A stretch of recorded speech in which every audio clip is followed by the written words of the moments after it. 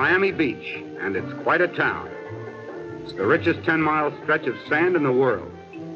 We have the simple things of nature sun and sea and sand and tropical breezes.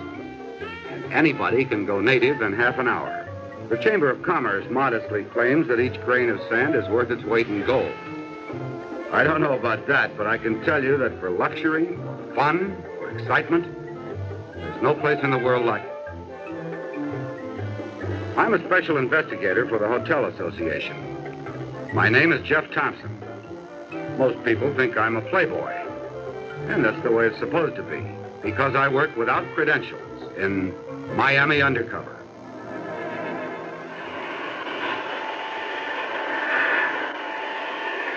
Rocky around? Boss here? Just left. I had an appointment with him. Said he'd be right back. From where? Priscilla Dean, School for Girls.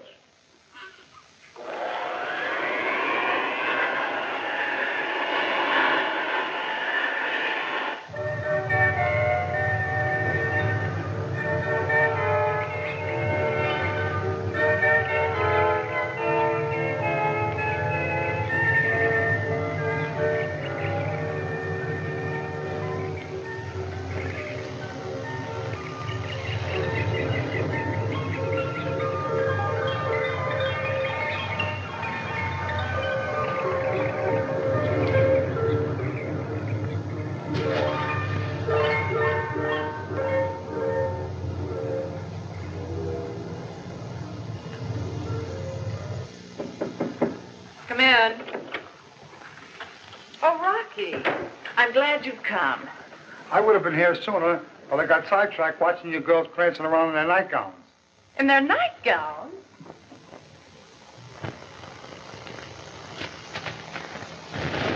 They're studying ancient Greek dancing. Teaches them graceful movement. That's very important socially. Yeah, I guess you'll never know an old Greek will want to drop in and dance, huh? Sit down, Rocky. I've got a terrible problem. There was a burglary on campus last night. Terry Gray's mink coat and Joan Gorman's jewelry, worth more than $6,000. Michael Mellinger, man. Did you call him? Well, who's he? Why, only the best cop in Miami Beach. No, Rocky, I don't want the police. That's why I called you. You mean I could do something the cops can't? You can find me a good private investigator. Our pal, Jeff Thompson. He's the best. But I say it again, what work could he do the cops can't? He can solve the problem and he can keep it out of the newspapers. It would be awful if the girls' families found out about this. You think it was an inside caper? Uh, the heist? Uh, the robbery? It's the third burglary of a dormitory room in two weeks, and somebody's using a pass key. I hate to think that one of our girls is a kleptomaniac, A whatiac? a compulsive thief, someone who has to steal. Hey, I know some guys like that. If they don't steal, they don't eat. So they gotta steal. Look, I'll go over and see Jeff and tell him to come over here and talk to you. Okay? Thanks a lot, Rocky. Okay.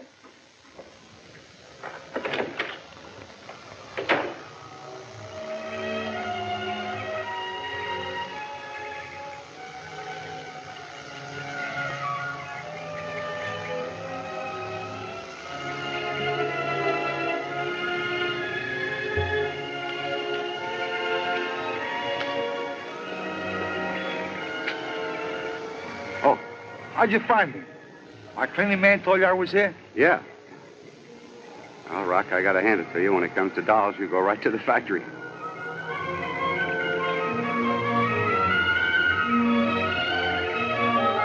I'm here strictly on business. What kind of business? Look, when you get serious, I got something important to tell you. Very important. More important than this? Marge Whitmore, the girl who runs the school here, she's got big trouble. Miss Whitmore. How do you happen to know her? I fought her mother in Cleveland. I got a draw. Oh, listen, you got to help. Three heists in the last two weeks. Over six grand of personal loot gone right out of the window. Miami Beach Police Department works every day. Well, I, I told Marge you can handle it without anything like that, you know. You wouldn't get mad if I asked why. Publicity. The school can't afford this kind to get out. You could wrap it up without anything like that happening. Well, I appreciate your thinking of me, but uh, Uh, think about it. These pretty chicks here learning to be blue bloods. makes a big reason for the rich parents to come down to Miami Beach and spend plenty of jack. You follow? Like a bird dog. And the rest of it is the Hotel Association would be most willing for me to help the Priscilla Dean School for Girls with their burglary problem. Hey, ain't it funny how we both think alike? Hilarious.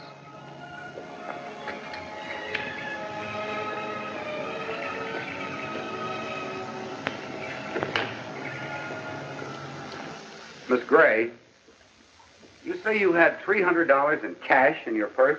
That's right. I only had 175. Poor kid. And none of the money was taken. All right, thank you very much.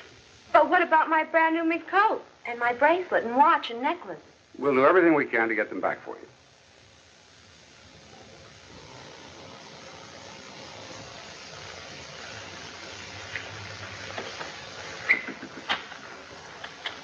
You have any ideas? A couple.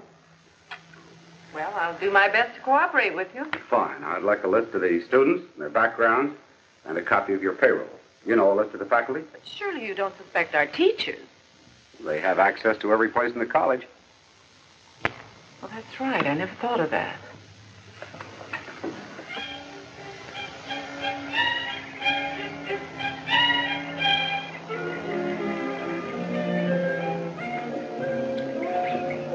Hiya, honey. Hiya, darling. Hi. Friends of yours? Yeah, once under 21 drink ginger ale. But they bring in guys to my place that don't drink ginger ale. You get what I mean? Yeah, I get it. Say, these dolls are learning to dance with old Greeks. What do you mean? They do it in their nightgowns with no shoes on. Marge says that's the way old Greeks dance.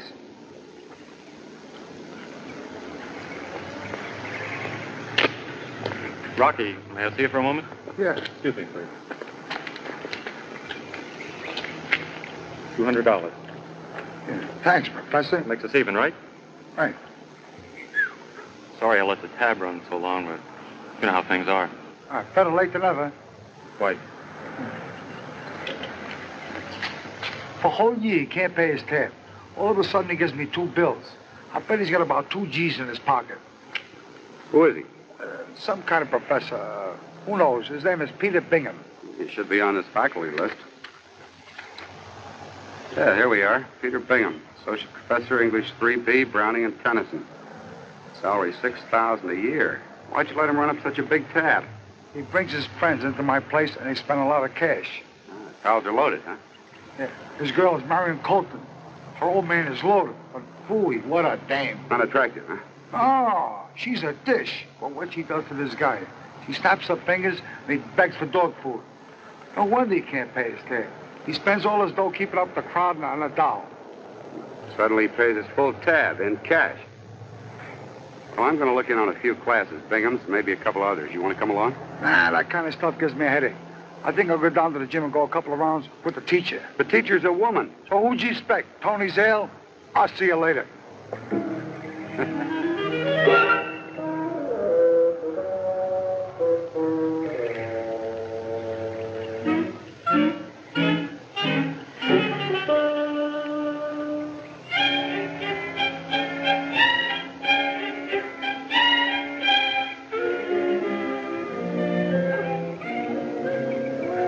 Why don't you learn to dance with old Greeks? It's easier. You think you could do it any better? Here, betcha. Watch this.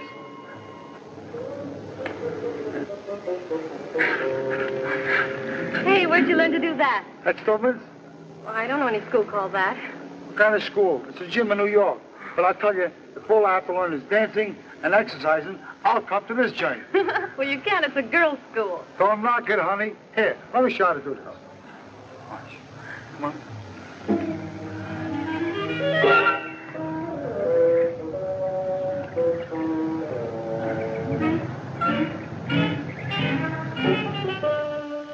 I learned nothing in Peter Bingham's class except that he thrilled the girls with his readings of Robert Browning.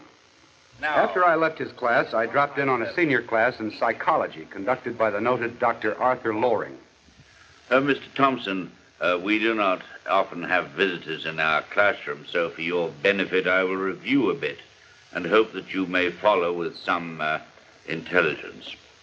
We have been discussing the theories of psychology of the Superman, the uh, Nietzsche theory, that is, so successfully exploited by Adolf Hitler. I see. I doubt that you do, but no matter. Uh, we have brought these theories up to date to my own Loring theory, that is, that 90% of all people are inferior. I don't agree. Mr. Thompson, please, you are here to observe. Please do not interrupt. Uh, to continue, ladies, the stupid people, the 90% that is, are afraid. They don't know what they're afraid of, uh, but, but uh, they're so fear ridden they cannot protect themselves against the superior people. On the other hand, the superior person has no fears. He knows full well that whatever he wants or needs is his for the taking. Uh, uh, from the inferior person, that is. To illustrate my point even further, there is not one of you in this classroom that would not be distressed were you to lose some prized possession. This bracelet, for example, you must be superior to the person who has designs on your belongings.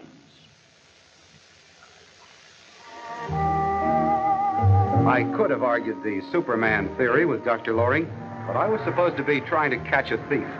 And my best suspect was a professor named Peter Bingham, who had $2,000 in his pocket and a girlfriend with expensive tastes.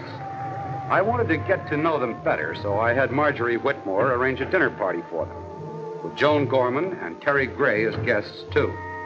It was a nice arrangement, because uh, Marjorie Whitmore was, uh, well, it was a nice arrangement.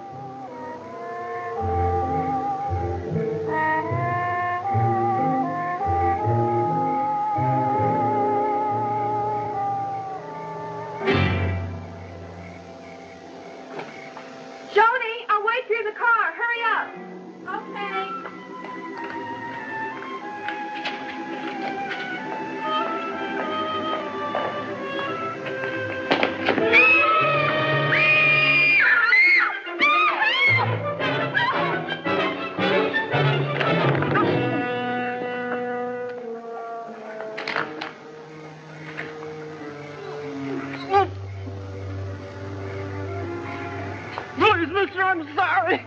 Please let me go. I need the money. I got a date, please. Uh, you got a date, all right, with the police. Is he the burglar, do you think? Uh, he'll doodle another one comes along. Oh, please let me go.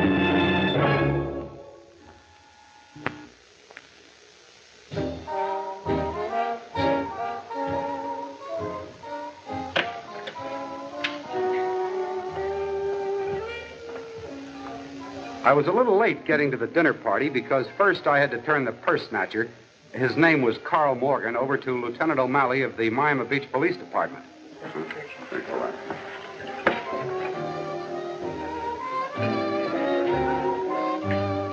Hi. Sorry I'm late. we were worried about you. We were just admiring Miss Colton's bracelet. Peter gave it to me today. He says it's just a friendship gift. Well, it's the sort of gift that usually precedes an important announcement. That must have cost you six months' salary. Almost. But I can afford it now. I have a new additional source of income from my family up north. It was quite a trinket. Peter would never give me a mere trinket. Would you, darling? Of course not. No, it's a bad choice of words. You ever see anything like that, Joan? No, but now that I've lost my bracelet, I'm very jealous. Uh, excuse me.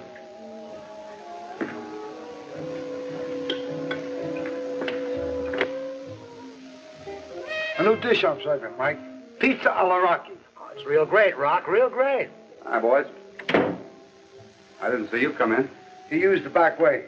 Oh, that kid you brought in. I had him in a hot seat. Couldn't sweat a thing out of him. Lieutenant didn't have time to eat supper, so I fixed him up. Now, what about the boy? Morgan? Only claims that purse he tried to snatch was the first job he ever pulled. You go along with that? Inclined to. Right now, I'm wondering why you're killing time at that fancy dinner party. He even arranged for. Well, I'd better level with you, Lieutenant. I'm doing this my way. Well, your way better be my way. Lieutenant, you know, I've, uh, I've always thought of you as a very discreet police officer. Go on, keep it rolling. A man with a keen appreciation of the value of the tourist trade to this town. Who wouldn't tip the newspaper men as to the presence of a burglar within the sacred precincts of the Priscilla Dean School for Girls? You won't, will you, Mike? I should have my head examined. You know that, don't you? Well, no more favors? Better get me while I'm in the mood. I need help. Checking pawnbrokers who might have received some of the stolen jewelry. This I don't mind. But we'll need photos of the missing pieces. Everything was insured. The adjuster owes me a couple of favors. Well, get the photos and meet me tomorrow morning. Using the pictures I got from my insurance adjuster friend, Mike and I visited 10 pawn shops without any luck. Garfield's place was the 11th, and we had little hope of finding anything. Just a routine check, Mr. Garfield. They're always routine. Do you want me to say I recognize this stuff? Only if you do. Yeah, I've got all these four pieces. They're the McCoy, real good. Can we see them? Oh, sure, Lieutenant, certainly. Right over here. Who pawned them? Uh, Joseph Remington, he's been in here three times. He came in here yesterday and he brought me this. Altogether, I gave him $4,000 for the stuff. You got a bargain. If you don't redeem them,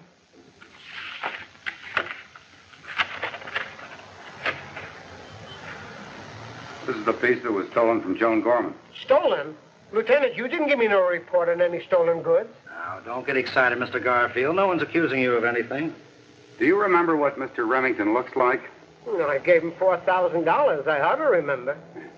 This look familiar? No, nothing like that. The man I did business with was pushing 50 or 55. Well, maybe Bingham had a Confederate. What address did this uh, Remington give you? Well, I have it right here, Lieutenant. There you are, right over here. Lincoln Road. It's a phony. One of the best dress shops in Miami Beach. I'll check it out, but we'll get nothing. Can you describe the man? Well, he was short and sort of muscular like me and spoke like a smart man. Well, I'm sorry, Mr. Uh, Garfield. I'm going to have to impound these. $4,000? Thanks for your help.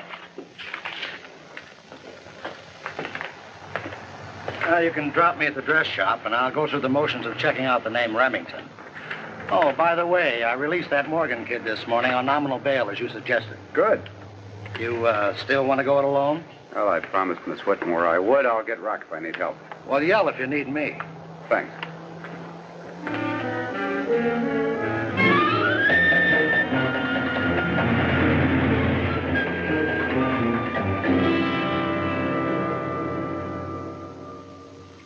We'll return the jewelry to the girls, but not yet. They might talk and tip off the man we want. But it's impossible. What is? The description the pawnbroker gave you. It fits half the male members of our faculty. And they're all from Harvard, Yale, or Princeton. That explains their accent. Are you sure it wasn't the boy who tried to steal Terry's purse? Oh, Lieutenant O'Malley checked him out. He's much too young. Doesn't fit the description at all. You saw him. I know, but witnesses can sometimes be wrong. I, uh, I think I know who it might be. We'll just have to wait and see.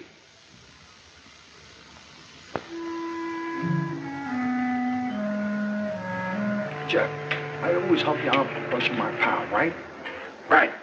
So why don't you be a pal for me, too? Why, I'm your best friend. Some friend. Three nights running, you got me waiting for a guy that ain't gonna show up. It's cold, you know that? Yeah, he'll show up. Tonight, I hope. I told you to wear a sweater. I hate sweaters. And besides, I got a bartender working in my saloon what's got glue on his fingers. You want to leave? I'm no rat, but the whole setup is silly. If this guy shows up, I'm supposed to hide in a bedroom. What's silly about it? Me in a girl's bedroom? I told you once before, Miss Whitmore has gotten another room for the girls temporarily. Joan and Terry won't be in their bedroom. That's what I'm complaining about. It's silly.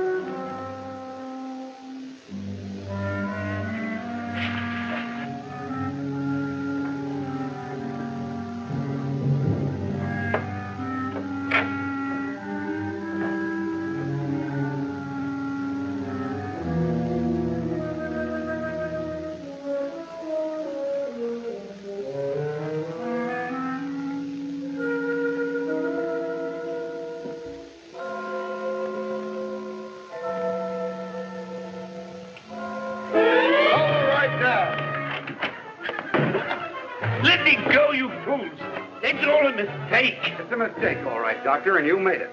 It's an experiment with regard to my psychology lectures. Tell that to the police. They love experiments. They might even try one with you. They want to see how you like prison.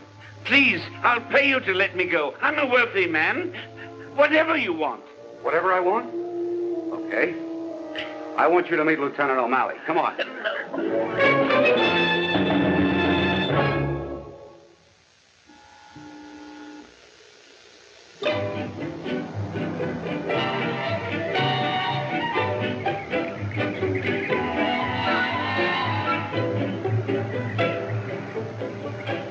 Well, Lieutenant O'Malley checked out Peter Bingham. He really inherited that money from his family.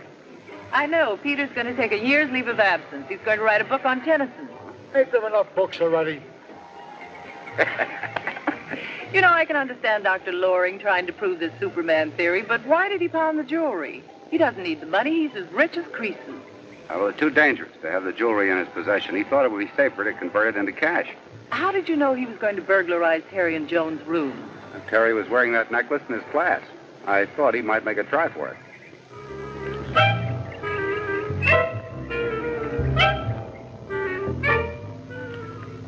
I think I need some exercise. I'll see you later.